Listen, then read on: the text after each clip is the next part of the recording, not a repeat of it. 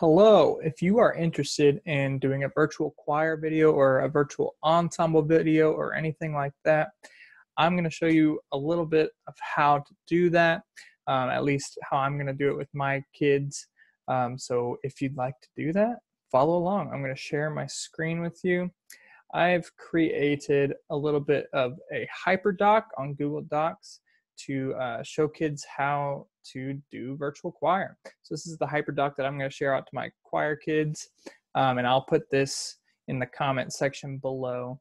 Um, but basically it says, what is virtual choir? While we are practicing social distancing, there's a unique way for our Nixa intermediate choir students to create beautiful music together. I'm going to share this again. You can make a copy of it and you can uh, create your own doc. But basically, I put a link to Eric Whitacre's um, you know, virtual choir video. Obviously, it's going to be nothing like Eric Whitacre's video because his is incredible and ours will not be as incredible. But yeah, they can at least get an idea of what it is by clicking on that. Whoops, I just stopped sharing. I didn't mean to. I'll share again my screen. And then uh, you want to have your students obviously learn the music. So uh, the song that we're doing is Sisi Ni Moya by um, Jacob Jacob Navarud, and I don't know how to pronounce his last name. If you're if you see this, Jacob, I apologize. Um, but I got permission from him to do this piece and create a virtual choir um, video of it. And so I had already created rehearsal tracks for my students back in at the beginning of the semester. So I linked those different rehearsal tracks here um, from my Google Drive. And then we're actually doing a combined video with all of the intermediate buildings in our district. So how are you gonna record your video? Before we worry about how to film your video, you need to have headphones. So make sure your students have headphones because the only audio we wanna hear in the video uh, that they submit is their voice. So you will listen to a specific track link below while you're recording your video, but we don't want to hear the audio from the video. We just want to hear you. If the headphones have a built-in microphone like this, it's even better. Um, you have a couple options when it comes to filming. Option one, which is preferred, especially if they have Chromebooks, uh, and if you have a WeVideo account, is filming on WeVideo. So I have a video uh, that shows exactly how to do that. I'm not going to show it to you right now, but I'll put this doc in the comment section below. You can watch that. Um, so they can film on WeVideo. And then uh, the way, uh, yeah, I go over all of it in there. And then option two is to film on their phone. So especially if you have high school students or junior high students or some intermediate students, they might have a phone and they can film it horizontally, of course.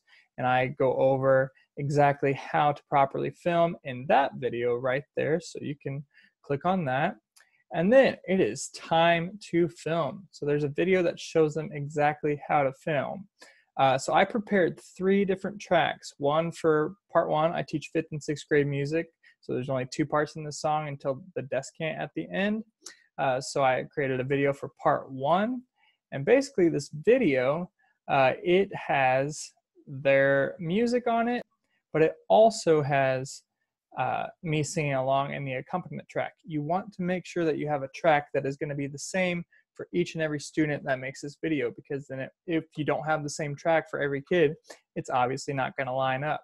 So I created a video in WeVideo um, by adding, this is the Sisi Ni Moya um, accompaniment track. So I had the accompaniment track and then I took my PDF of the song.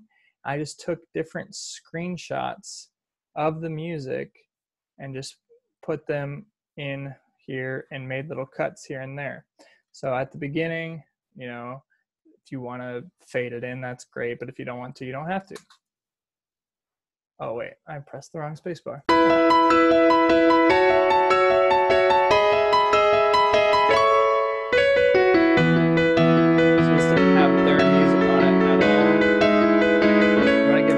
time, if you hit the space bar, it stops right where you want it. And if you hit the letter S, it makes a cut. So I can then delete this and put in the next part. And kind of extend it out.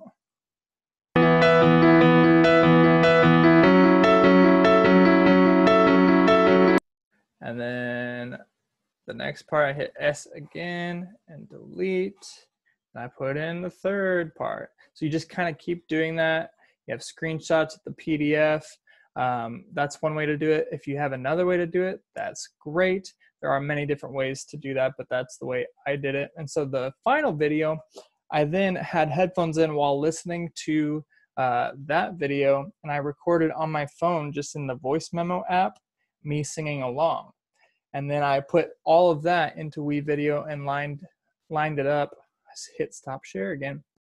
I lined it up in WeVideo uh, to where it then became me singing along with it. So here's that video.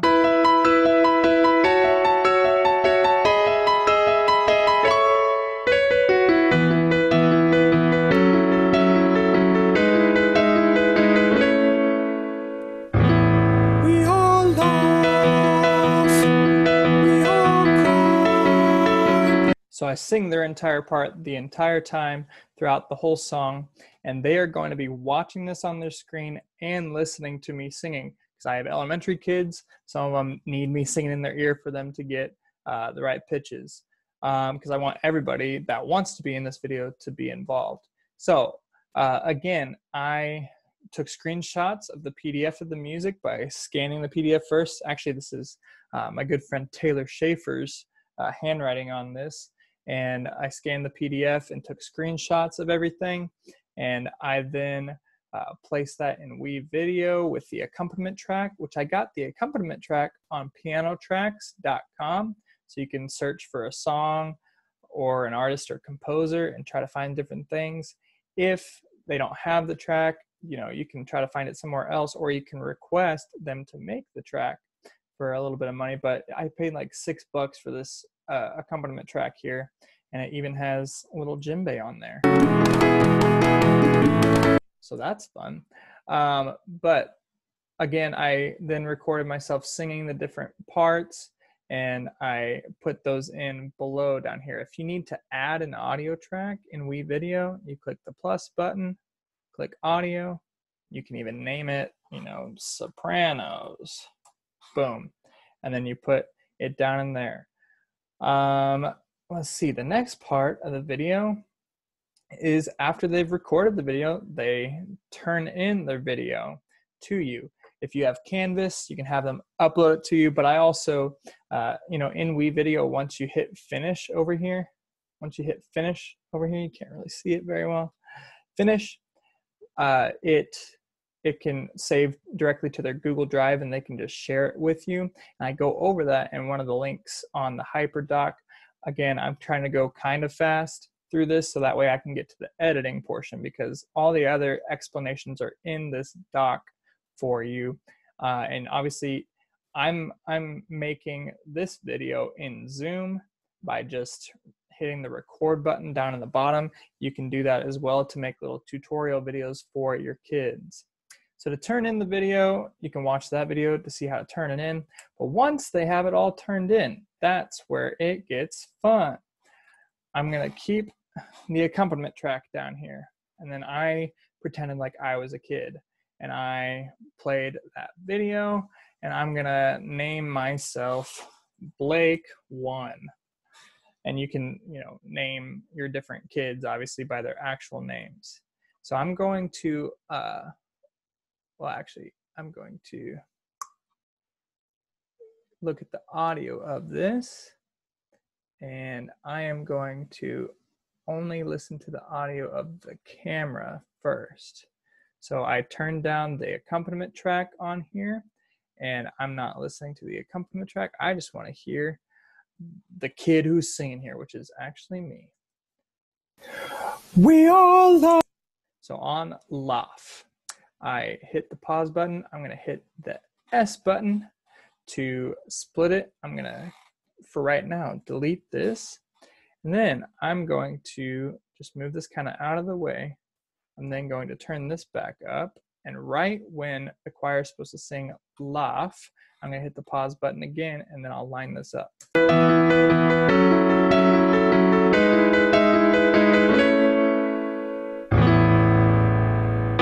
Pause. And so that is laugh. I'm gonna hit the S button.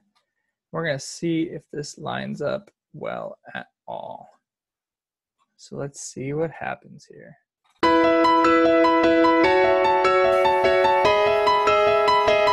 You can fade in their audio if you're like, uh, they started talking or something. You can fade in by creating two different points there and kind of fade it in, or, you know, even, well, yeah, we can just do it like that.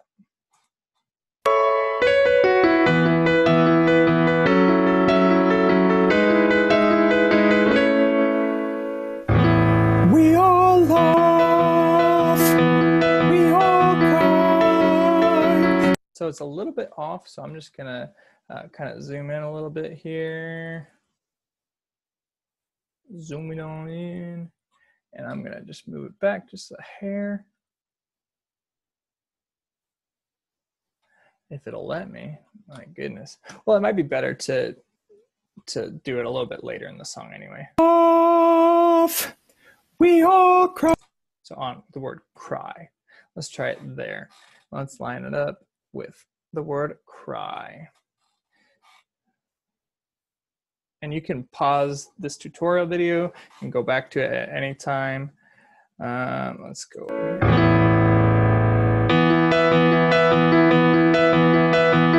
So I pause it right on cry. I hit the cut button and I am going to then line this up, have it snap, and then get rid of this again.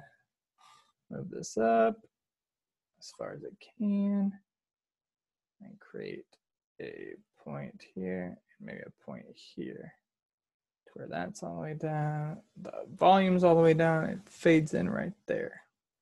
Let's try this.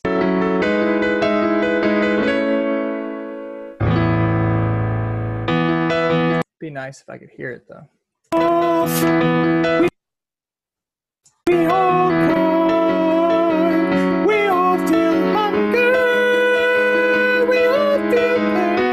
So now it's all lined up. Yes, I know, I'm singing like a girl. It's fine. Um, and then if I want to move it to a different spot, because virtual choirs, they're a lot smaller. So what I did is I double clicked on the video, double clicked on it, and then you can hit scale and you can move it to whatever spot you want. Let's do point three. You can even type it in as well. Now I'm going to click on show grid and snap. But usually the first one that you're gonna have, you're going to put it in X zero, Y zero. And so it's gonna be up in the total left-hand corner. So let's say I want it even smaller because I have a lot of kids. Still gonna put X0, Y0, and then maybe snap it to that line or something like that. Okay, so that's my first video. I'm gonna save changes. Then I wanna add another kid. Well, guess what? I have another kid right here. I'm going to mute this kid's audio. I'm gonna mute the accompaniment track. Then I am going to scroll up a little bit. Just look at the audio of this kid. And we'll press play down here. We all laugh. We all cry. So right on cry again. I'm going to split it there. I'm gonna line it back up with cry down here. So you wanna keep that cut down in the accompaniment track. I'm gonna spring this over here and then do the same kind of thing that we did the last one. And if a kid, you know, isn't singing their best, you can kind of bring it down a little bit farther if you want. And if you don't want to see the video audio, I think you can, I think you just, well, I guess once you open it up, you have to see it. There's probably a way to get rid of it. I don't use WeVideo that often, um, but I'm trying to think of different things that you guys can easily do. So then I want to make sure that he's lined up with everybody else. I'm to move this back up. We all. And he's not lined up with everybody else. So we're going to zoom this back in. We're gonna move it back. And you can kind of see the audio files lined up there. You can try to line them up. I don't know why it won't let me move it.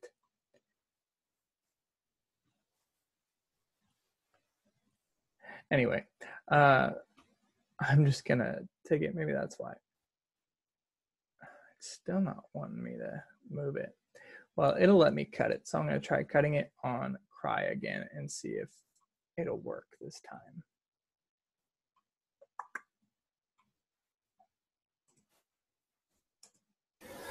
We all laugh. We all cry. We're gonna get it on Cry again. And WeVideo's not the best program for this, um, but it's free for educators right now, so that's why I'm using it. Let's do all this stuff again. Now see if it's lined up.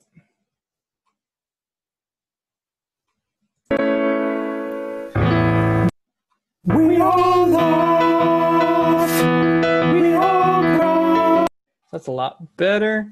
Um, your kids aren't going to sing it perfectly, and that's okay. So you want to make sure that you're at the same scale as the other one. So that's 0.14. So I'm going to double click on this and do 0.14, enter. And then we'll show the grid and we'll snap it. And we'll move it up here. Boom, there it is. Save changes. Now I've got two people up there. So you just keep adding and adding, and to add more video tracks, you add a video track. You can name the person, add it. I'm gonna add, add, boom. You can just keep adding, and I've gotten up to, you know, I don't know what the limit is, but yesterday I tried it and I got up to like 52 or so. So that's uh, a little bit of how to make your virtual choir and move it around and line up the audio tracks. Uh, that was a rough demonstration because I don't use WeVideo that often. I'll be editing my virtual choir on my video software, but I know a lot of people use WeVideo and they have access to it. Um, so that is how I would do it. And then you hit finish once you're totally done and you can save the video. But once again, I give a lot of those instructions in these videos on the HyperDoc. So if you have any questions about different steps along the way or things in the HyperDoc or something that I didn't go over, or you know my the mess of an audio or the mess of the editing process that just happened, uh, let me know and I can try to help you out as much as I can. Um, and you can message me on Facebook or email me. It's up to you. So let me know if you have any questions and have fun tackling this. It's it's a lot of work, but uh, right now we all have a lot of time on our hands and our kids deserve it. So if you want to do it, go for it. Bye, guys.